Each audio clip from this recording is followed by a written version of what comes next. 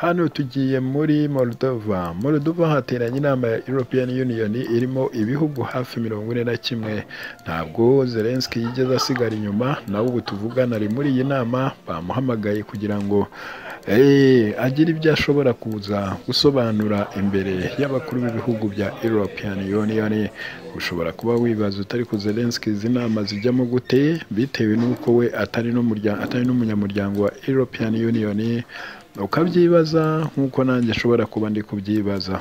Kugeza ubu rero Zelensky yahageze ariko nk'uko musanzwe mubizi Zelensky rwose iyo yageze ahantu nk'aha hari abaperezida bamwe atigeze basha guhura nabo namwe murabizi ko ari umuntu utakamba. Ndetse akanicara hasi agafata ku mutwe avuga ati rwose kugira ngo iriya ntambara nkitsinde cyangwa se nkubite abarusi ni uko mukwiye kuba mwampa iriya ndege iriya ndege efu dashi sekisiteni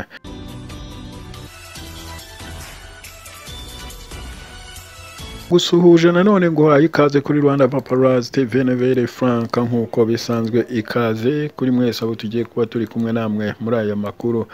Ndetse tugakomezanya kugeza tuyasoje. Nizere ko mwese mwamaze kuhagera ndetse mukaba mwamaze no gufata inyakiramajwi zanyu ngo tubane mu makuru atariho ivumbi tubazanira umunsi ku wundi. Ikaze rero umushyashya dukandire kuri subscribe aho ku ruhande noneho ubundi twijyanire ntiwibagirwe kuyasharinga aya makuru ngo n'abandi bamenye igicumbi cy'amakuru atabamo ibihuha ndetse n'amakabya nkuru nta handi wayabona atari kuri rwanda paparazi tv niko bimeze. Reka twihute cyane twinjire mu makuru ko gutinda tubanze turebe ibiri kuvugwa mu bibuga by'imirwano bitandukanye.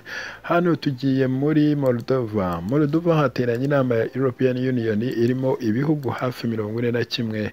Ntabwo Zelensky yigeze asigara inyuma nawe ubu tuvugana ari muri iyi nama bamuhamagaye kugira ngo agire ibyo ashobora kuza gusobanura imbere y'abakuru b'ibihugu bya European Union ushobora kuba wibaza utari ku Zelensky izi nama zijyamo gute? Bitewe n'uko we atari n'umunyamuryango wa European Union.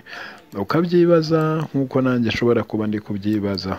Kugeza ubu rero Zelensky yahageze ariko nk'uko musanzwe mubizi Zelensky rwose iyo yageze ahantu nk'aha hari abaperezida bamwe atigeze basha guhura nabo. Namwe murabizi ko ari umuntu utakamba ndetse akanicara hasi agafata ku mutwe avuga ati rwose kugira ngo iriya ntambara nkitsinde cyangwa se nkubite abarusi ni uko mukwiye kuba mwampa iriya ndege iriya ndege efu dashi sekisiteni nakwibutsa ko iyi ndege hari ibihugu bimwe byo mu burayi. Byamaze kwemera guha izi ndege Ukraine bamwe n'abapilote bayo. Ubu ngubu rwose abapilote barimo barigishwa b'abanya Ukraine kugira ngo barebe ko bashobora kujya bakoresha izi ndege. Ayo ni amwe mu makuru yakomeje kutugeraho mu biganiro.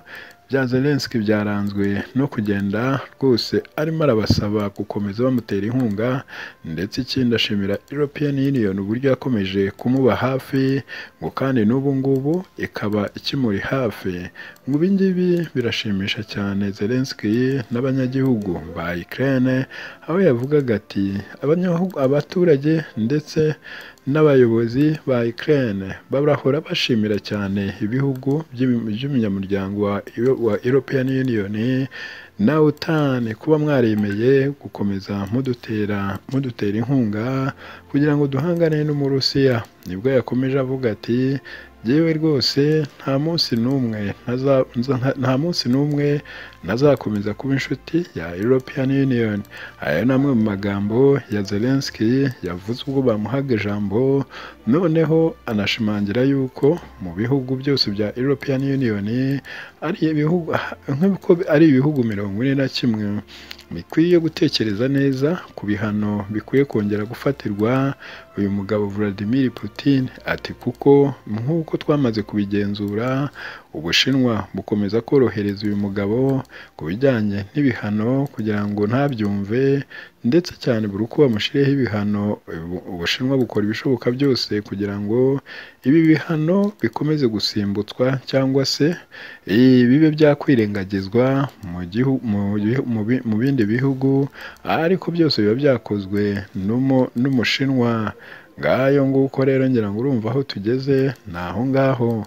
Ntujye kure guma kuri paparazi ndacyakuzanira n'ayandi makuru. Dukomeze tubane gatanu kuri gatanu President of the Democratic Republic of the Congo, Felix Tshisekedi, has just arrived at Beijing Capital International Airport to start his state visit to China. At the invitation of Chinese President Xi Jinping. During the visit, President Xi will hold a welcome ceremony and banquet for President Tshisekedi. The two heads of state will hold a tour. reka rero muri iyi nkuru yacu twihuse cyane tudatinze twerekeze kuri perezida felix antoine Chilombo wa repubulika iharanira demokarasi ya kongo kuri ubu rero uyu mugabo yerekeje mu gihugu cy'ubushinwa ariko nyuma y'uko agezeyo nta kindi yakoze usibye kurega nyakubahwa perezida paul kagame n'igihugu cy'u rwanda. Abaregera rero abanyekongo ndetse n'abashinwa bose babarizwa muri kiriya gihugu nk'uko tugiye gukomeza tubikomozaho. Ni perezida felix antoine Tshisekedi Chilombo wa repubulika iharanira demokarasi ya kongo yongeye kwitwaza u rwanda agaragaza uru rwanda nka nyirabayazana y'ibibazo bimaze igihe byarayogoje igihugu cye Tshisekedi yitwaje u rwanda na perezida paul kagame ubwo kuri uyu wa kane tariki ya makumyabiri na gatanu gicurasi yaganiraga n'abanyekongo baba mu gihugu cy'ubushinwa. Ni Tshisekedi uri Beijing ku murwa mukuru w'ubushinwa mu ruzinduko rw'akazi rw'iminsi ine ari kuhagirira muri iki gihugu cyo ku mugabane wa aziya umukuru w'igihugu cya kongo ubwo yaganiraga n'abanyekongo bo mu bushinwa yababwiye ko icyatumye abahuriza hamwe aba banyekongo bose bo muri kiriya gihugu ni ukubabwira ibibazo byugarije igihugu cye bikomeje kumushyushya umutwe.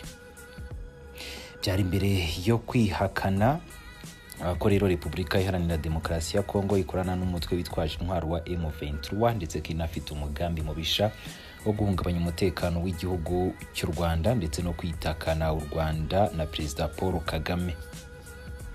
Yagize ati ndagira ngo rero mbaganirize ku byerekezo igihugu cyacu kirimo ariko nanone tunaganire ku byerekeye ibibazo bidusubiza inyuma bikanadushyushya imitwe. Ni ikibazo cy'igitero cyibasiye igihugu cyacu giturutse mu gihugu cy'u rwanda. Igitero cy'ubugwari n'ubugome cy'u rwanda n'umuyobozi warwo paul kagame. Tshisekedi yavuze ko perezida paul kagame yeruye akavuga imvugo yahisemo guhungabanya uburasirazuba bwa repubulika iharanira demokarasi ya kongo mu buryo buhoraho.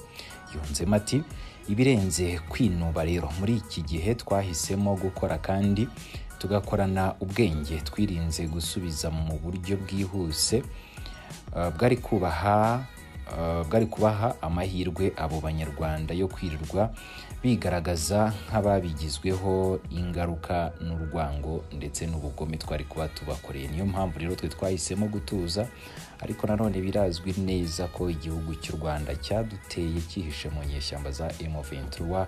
Isi yose irabizi ntabwo rero namwe ubwanyu nakirwa mbibasubiriramo kenshi murabizi cyane.